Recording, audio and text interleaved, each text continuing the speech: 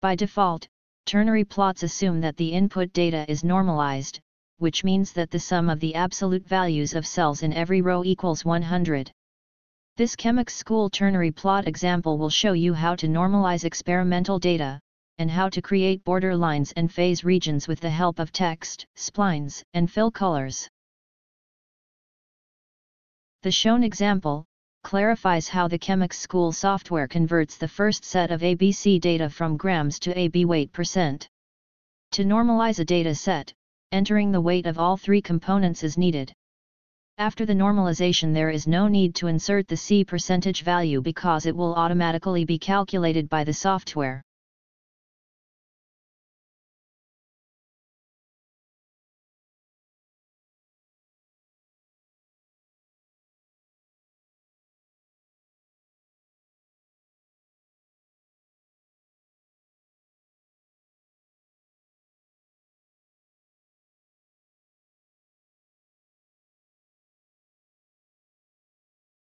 Use a simple text editor to store all your experimental data.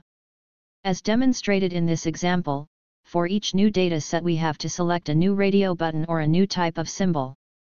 To normalize the data sets, copy and paste all the data sets, one by one, into the ternary plot edit field. To insert data, right-click in the edit field and select Paste. Alternatively, the data can be pasted using a Windows shortcut combination in which was done in this example. To speed it up a little in this example, only the two first and the two last of a total of six data sets will be shown pasted into the edit field.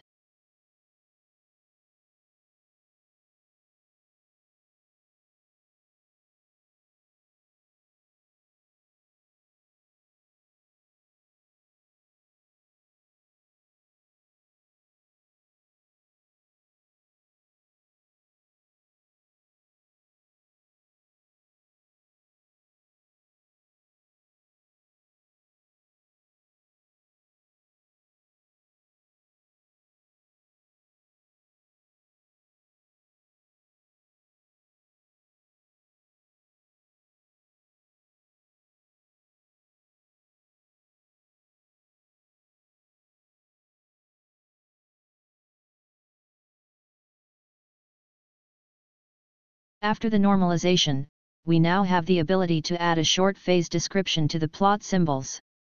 The reason for doing this, is to have as much information as possible available when we later, for example, will draw a borderline between the one-phase and two-phase regions.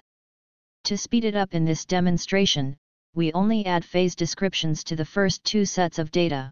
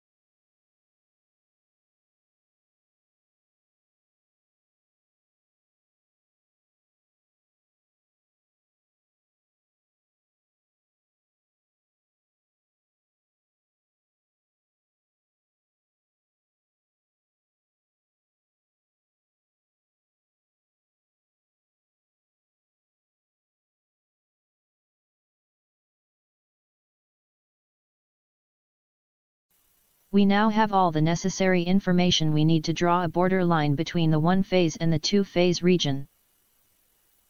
To do this, set off a few squares with the mouse. Create a curve by moving the squares with the mouse pointer. Use the points located to the left of the 1p or 2p text, as a helping guide regarding where to place the spline curve.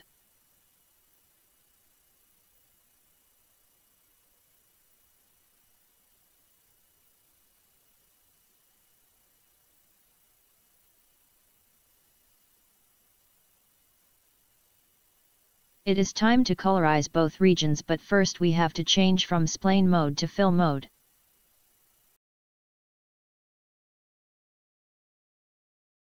After a color has been selected, we can colorize the two-phase region by left-clicking the mouse. It is possible to move the scared fill point by the mouse.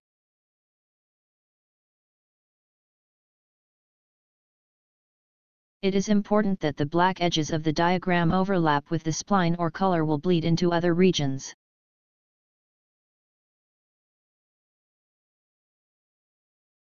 We now have to select a fill point that is not already in use. Select fill point number 2 in a color.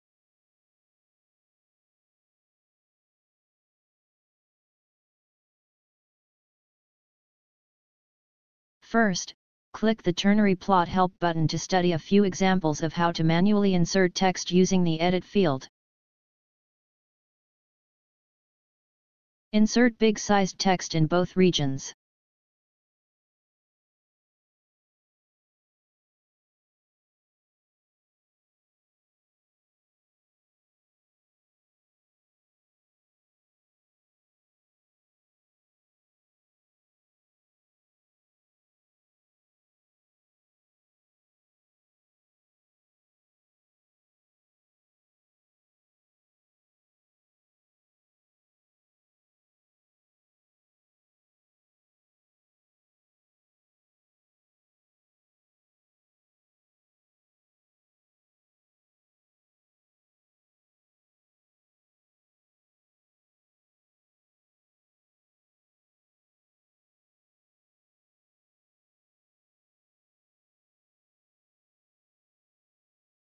Use the mouse to check the grid option and uncheck the symbol and text options.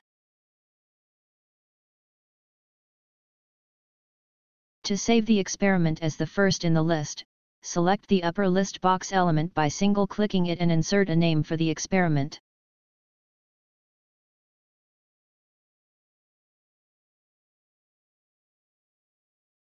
Add the experiment to the list by pressing the B4 button.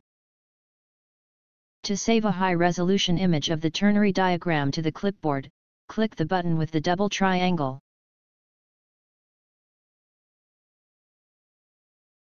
After opening a copy and paste enabled program such as a word processor or a paint program, insert the high-resolution image by using the paste option.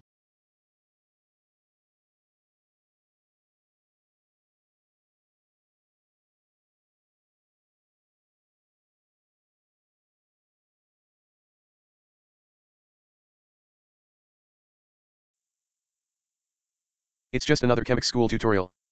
Thank you for watching. Don't forget to subscribe.